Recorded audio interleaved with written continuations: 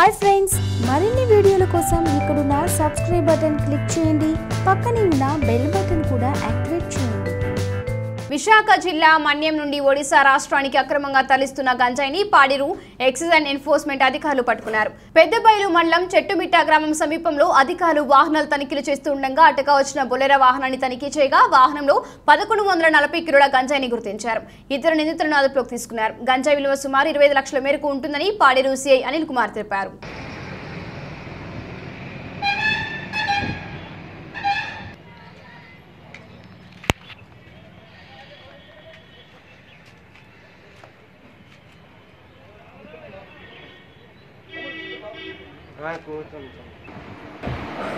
పెదబయలు మండలంలో చుట్టుమెట్ట ఘాటు దగ్గర ఒక రూట్ చేస్తుండగా ఒక వ్యాన్ పదకొండు వందల నలభై కేజీలు ఎండు గంజా రవాణా అవుతుండగా అదుపులో తీసుకోవడం జరిగింది. ఇతను ముద్దాన్ని కూడా అరెస్ట్ చేయడం జరిగింది. అలాగే మొత్తం వ్యాన్ ఈ పెద్ద జీమాడుగుల మండలం నుంచి పెదబయలు మండలంలో మెక్సిగడ్డ రివర్కి వరకు తీసుకెళ్ళడానికి వీళ్ళకి మాట్లాడడం జరిగింది వాళ్ళు చెప్పడం జరిగింది. అలాగే ఈ గంజాయికి ఈ ఏజెన్సీలో ప్రాంతంలో ఉన్న వాళ్ళని లోపరుచుకుంటున్నారు చాలామంది. అది షావుకర్లు ఎవరైతే దీంట్లో ఓనర్స్ ఎవరైతే ఉన్నారో వాళ్ళు కూడా ఎంక్వైరీ చేసి త్వరలో అదుపులో తీసుకుంటామని తెలియజేస్తున్నారు నేను నా సిబ్బంది రూట్ వాచ్ చేస్తుంటే పెదబయలు మండలం చుట్టుమట్టి ఘాట్ దగ్గర.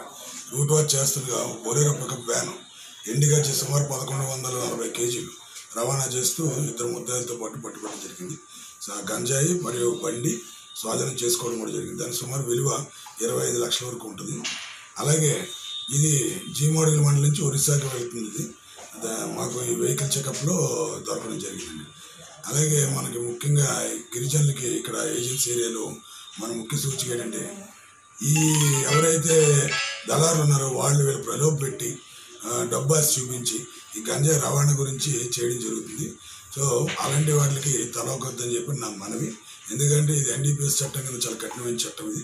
గంజాయి రవాణా చేసిన అలాగే